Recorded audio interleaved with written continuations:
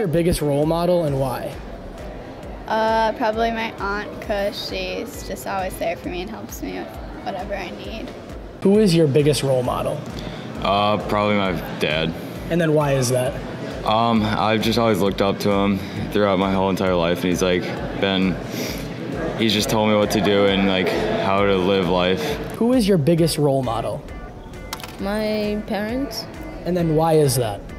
Because like you got, they went a lot like through to get life, and they still managed to give us, you know, our like you know happiness. And every time, you know, like when it comes to education, we know like life is hard, but it's always have it's always good to have that person that always supports you and behind you. Who is your main role model and why? Probably my grandmother because she has persevered through a lot of different hard times and she is super modern even though she's really old. Who is your biggest role model in life? My biggest role model in life is no longer here, but it was my mother. And then why is that? She had a very difficult challenge. My father died when I was a baby, so she had to do everything herself. And um, she just persevered and, and provided a, a good life for me.